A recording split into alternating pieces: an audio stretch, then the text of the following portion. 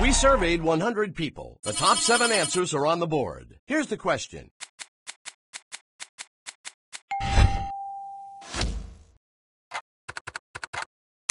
Let's take a look. No, that's not one of our top answers. Strike one. That's okay.